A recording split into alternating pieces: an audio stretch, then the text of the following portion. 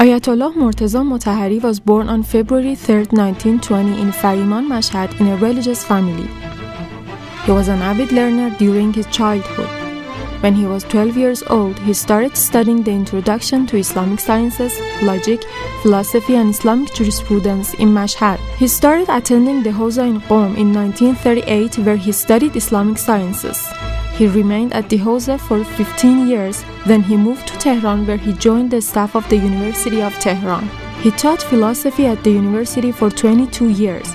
At the same time, he started opposing the Shah's regime and consequently, he was arrested after giving a speech and directly criticizing the Shah. He was in contact with Imam Khomeini throughout the years of Imam's exile in Iraq. Thus, Shahid Motahhari played a key role in the movement which brought the Islamic Republic of Iran into being.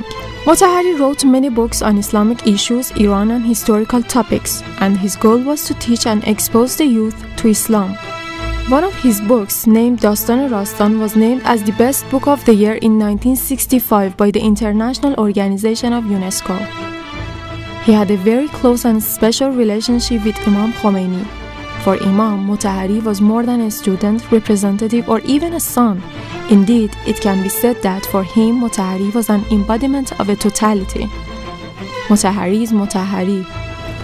این رجل فاجری که خون عزیز ما را به زمین ریخت تایید کرد دین خدا را یعنی خدا دین خودش را به او تایید کرد با ریختن خون عزیز ما تایید شد انقلاب ما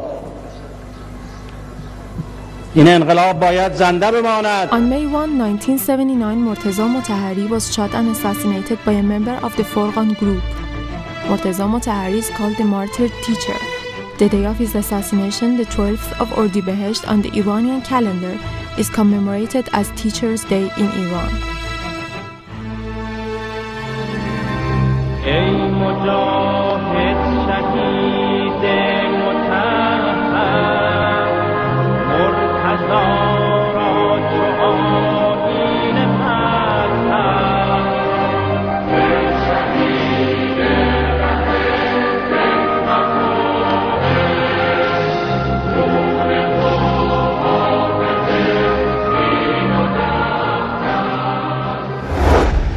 NasrTV.com